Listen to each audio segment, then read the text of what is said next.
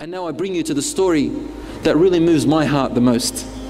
He is a man who was poor. Not only was he poor, he was a person who was very unattractive. In fact, the ulama or the sahabas used to describe him as hideous. Hideous. If a person looks at him, just wants to look away. So this man, Allah created him this way. Poor, no status in society, and hideous. And even his name was ugly. We're not meant to say that Sahabas are ugly, a'udhu billah. They are beautiful. But the name that he had was an unattractive name. His name was Julaybib. This hadith is in Sahih Muslim and part of it is also in a Tirmidhi, which is completely authentic. Rasulullah sallallahu alayhi wasallam saw Julaybib one day and he had grown older in age. He said to him, How are you, Ya Julaybib? That was such the case of Rasulullah sallallahu How are you, Ya Julaybib? And Julaybib said, Ya Rasulullah, do you think the only woman I'll get is in Jannah in Hur al-Ain insha'Allah? Rasulullah understood what he's trying to say, that he's never going to be able to get married in this life. Is he just going to die and just hope to meet Hur al-Ain? Is that Rasulullah said, no. بل في بل في الدنيا والآخرة إن شاء الله. You are going to get a woman from dunya inshallah and also from the akhirah. In other words, I would have said, no, Hur and then Hur al-Ain inshallah. Hur means soil. Laugh. Someone laugh. And thank you, So, Rasulullah said, Ya Julaybib, go to so and so a house and ask, they have a daughter. He went and they rejected him. So Rasulullah came to this man and said to him, Uridu an akhtuba ibnatak. I want to ask for your daughter's hand. He said, Allahu Akbar, Rasulullah, what beautiful news this is that makes the eyes enlighten and the heart, subhanallah. Rasulullah said, no, no, no, it's not for me. He said, who for then? He said, for Julaybib. And suddenly his smile turned into a frown and he said, let me ask her mother.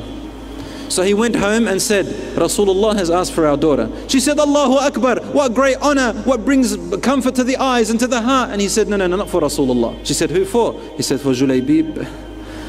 And then the mother said, Subhanallah, we had better men than him coming and asking for our daughter and rejected him. We had greater families asking for her and we refused them. And now, the lowest of the low in society and the most hideous, we have to give our daughter to him? No, no, no, no, no, no, please. Their daughter was in the background inside listening. So she came out and said, What is this that I hear, mum and dad? Rasulullah sallallahu alayhi wasallam is on behalf of another man proposing that man to me and you say no to Rasulullah? Wallahi, I will not refuse the request of Rasulullah and Julaybib is the only man I will marry. Allahu Akbar. When the news came to Julaybib, he was rejoiceful, mashallah. And Rasulullah sallallahu alayhi wasallam got the companions to look after him and donate so that he can get married. Time passed and there was one of the battles. Then Julaybib was among the people who went into that battle. Rasulullah sallallahu was there and the battle alhamdulillah was victorious to the Muslims. And then he went out as he usually does and looks among the Sahaba. There were great Sahabas who had died. And he's asking, everybody's asking, where's my uncle? Where's my brother? Where's my son? Where's my so-and-so? But Rasulullah sallallahu alayhi wasallam was asking one question, Aina Julaybib? Where is my Julaybib? And everybody would say, we don't know Ya Rasulullah.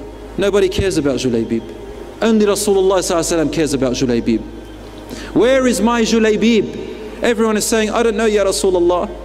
And they'll say, Ya Rasulullah, have you seen my uncle? He said, No, but have you seen my Julaybib? And they say, No, no, we don't know anything about him. So he went looking for him. And amidst the dead people, he finally found Julaybib radiallahu anhu, dead on the ground. And around him, as a circle, there were seven of the enemies dead around him. And Rasulullah, when he saw this image, he stared at him and his eyes flowed with tears.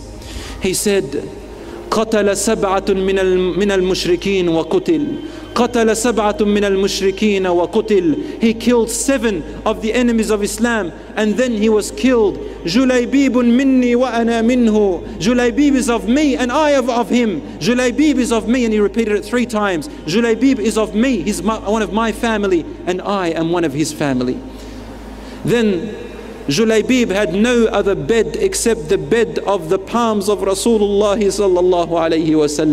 Rasulullah sallallahu carried him on his own forearms. And he was crying. Then suddenly his crying turned into a smile. And he looked away. He went to Rasulullah sallallahu and buried Julaybib with his own blessed hands. And they asked him, Ya Rasulullah, why were you crying and then you were smiling and looked away? He said, I was crying for the loss of my dear family member Julaybib. No one cared about him but me. And then Allah showed me his place in Jannah. I saw his soul in Jannah and there was one of his wives from Nahur al-Ain running towards him. So I smiled that he finally got his wife which he wanted in Jannah. And as she was running, the heel the heel of her legs showed, so I turned away. I have no right to look at the wife of Julaybib.